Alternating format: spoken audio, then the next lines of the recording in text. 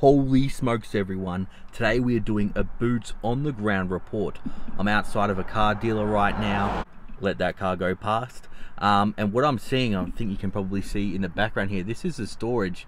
This is the overflow and it's getting absolutely uh, flooded with inventory. So sometimes you can just look at the data. You can't just look at the charts.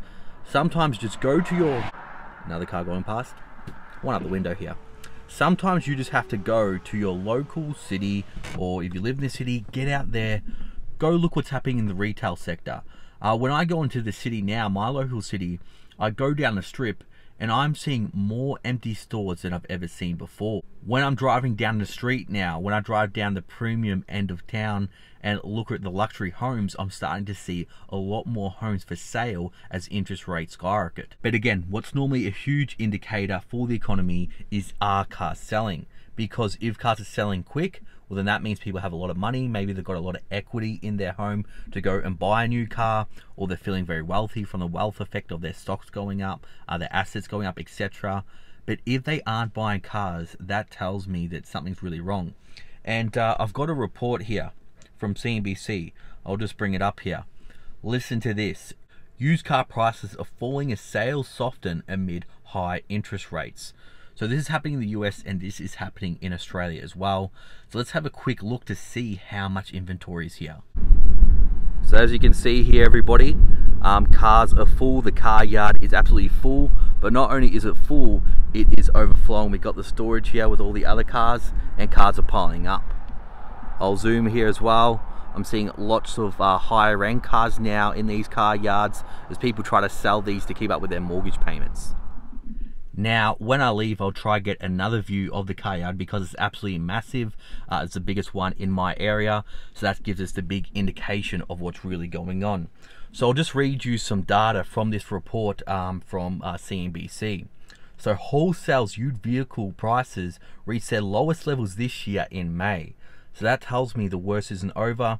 The Federal Reserve still lifting, the Reserve Bank of Australia still lifting interest rates.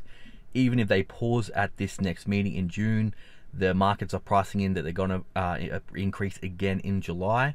So we're not out of the woods yet. And remember, all these rate hikes normally have a lag of at least six months.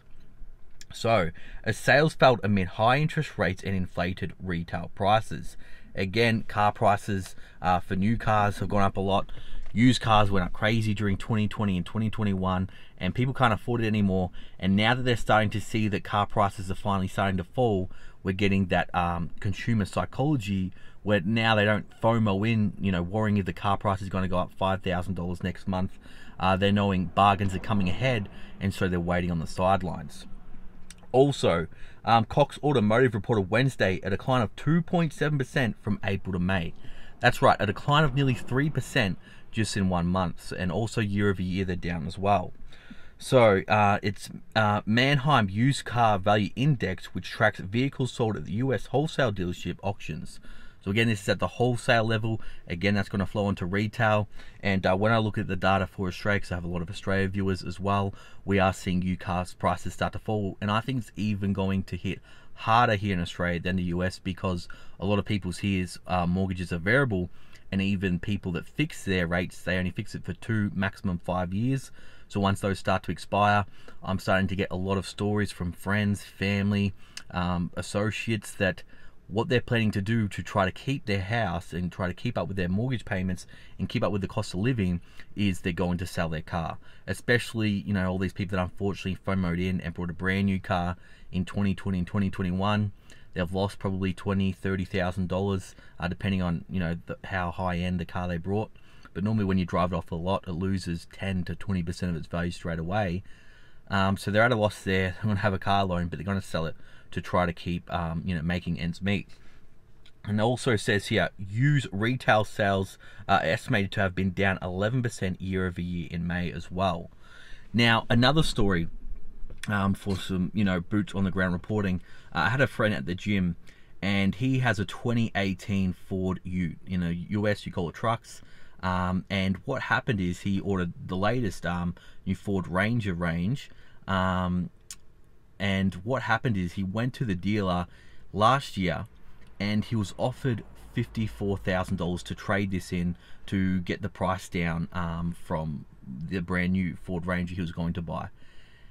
But he thought, you know what, the car market's pretty good right now. I'll try sell it for $60,000 myself. So he tried to sell it, didn't get any buyers, and he kind of just gave up for it for a little while. So then he went in again this year to try to uh, sell his Ford Ranger. I think it's a Wildtrak. I think that's the, the version uh, he had. Not 100% sure, but was, I know it's a Ford Ranger. And what the dealer offered him, they didn't offer him 54, 53,000. They said, we'll give you 40,000 for it.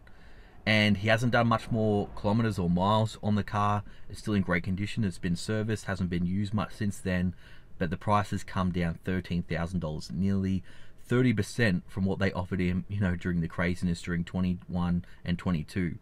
So this is more evidence that the dealers, you know, they look again, they're flooded with inventory.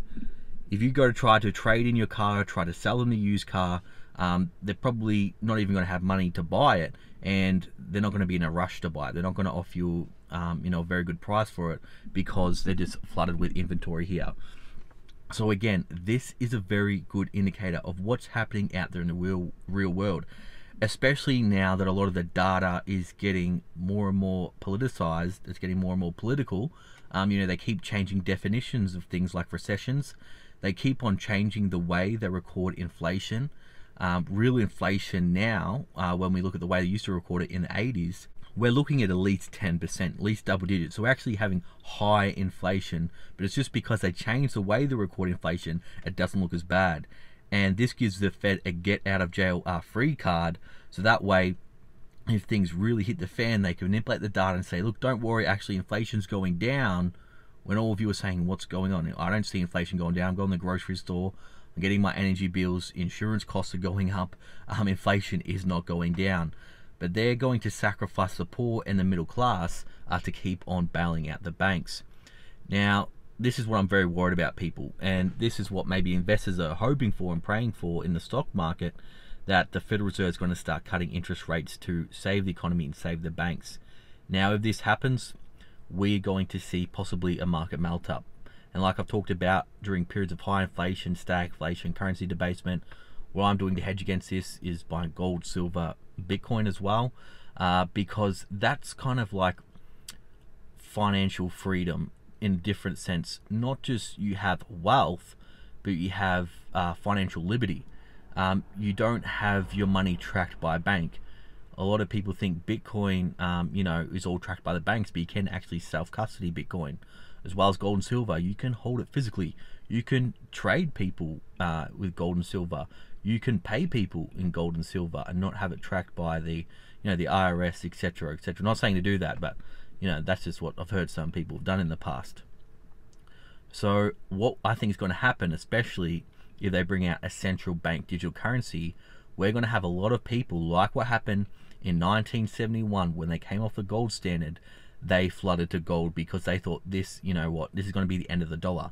And yes, the dollar didn't go to zero, but we all know since the 1970s it's lost most of its value. So everyone, go out there in the real world and figure out for yourself if we are in a recession or not. Again, if you're wanting to learn how to build wealth and protect yourself against this downturn that is coming, you can click the link in the description below for my course. But let me know what you guys all think in the comment section below. Thanks for watching. I'll see you all in the next video.